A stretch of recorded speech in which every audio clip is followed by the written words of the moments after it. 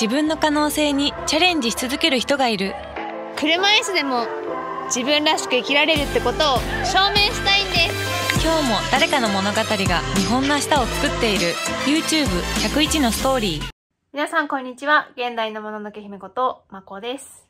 えっとですね11月15日から YouTube101 のストーリーということで、えー、YouTube を配信するクリエイターさん101人をこういろいろチョイスしていろんな県でこういうクリエイターさんがいるんだよっていう企画というかそういうキャンペーンみたいなのを YouTube で行っています。でその中の101人からの7人で、えー、がまた選ばれて、えー、動画 YouTubeCM であったり SNS の CM であったりそして駅ですね。東京だけになるんですけど東京の東京駅の駅中であったり新橋とかに広告が載ったりあと丸の内のビルのエレベーターの中の広告になったりタクシーの広告になったりいろんなところに、えー、その7人が出ています。でその7人の中に私もいるんでございます。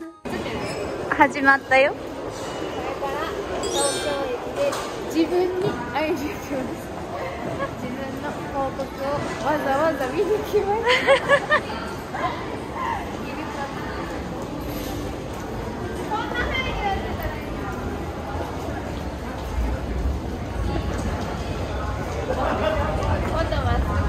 とまっすぐ。あ待ってここら辺そう。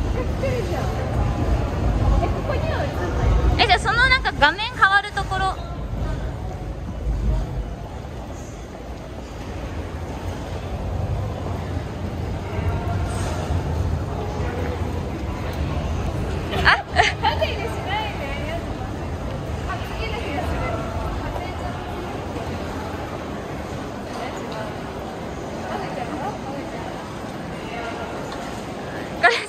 ろ編集でここ切るの？あ来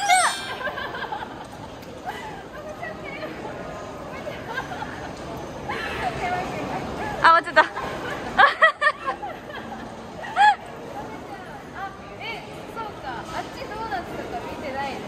あっちこのこっち側に来ればよかったね。後ろ。あやっぱそうで2画面に映るよ。順番一緒だもんうんけどなんか違う。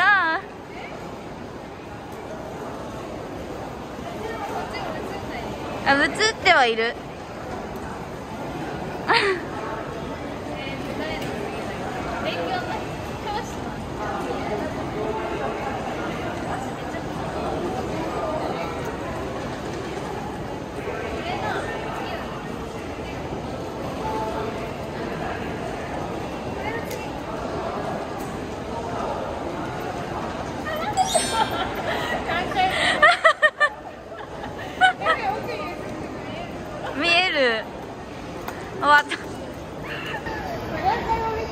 恥ずかしくなってきちゃうみんな見に来てね。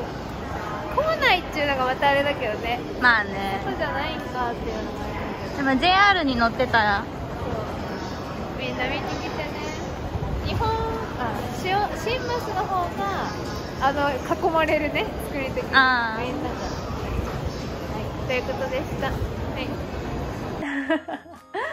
すごい撮影もですね、えー、お話をいただいた時はなんかあそそこまで大きいというイメージというかなんか軽くこう持って撮るのかなと思ってたんですけどスタッフ十数人が地元田麦俣に来てくださってでも本当に映画で使うようなカメラで撮影してっていうのをやってすごい大変いい、えー、経験ができました期。間が12月11日までだけかなになるんですけど、まあ、その中で、えー、いろいろきっと目にする機会があると思います。是非皆さん見かけたら一緒に写真を撮ってみたり、えー、写真を撮って SNS に投稿してみたり なんかそういうのをやっていただけたら嬉しいです。はい。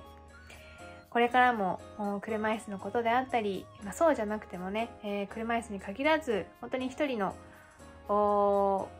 女性の 女性のこうストーリーっていうのをこれからも配信できたらなというふうに思います。はい。ということで、そういったお知らせでございました。本当にあのいろんな県にいろんなことを発信するクリエイターさんがいますのでぜひあのいつも見ないようなチャンネルも見てなんか自分の中での新しい発見っていうのをしてみたらいいのかなと思います。はい。ということで今後もぜひ皆さんよろしくお願いいたします。ということでした。本日も最後までご視聴ありがとうございました。ホテルからでした。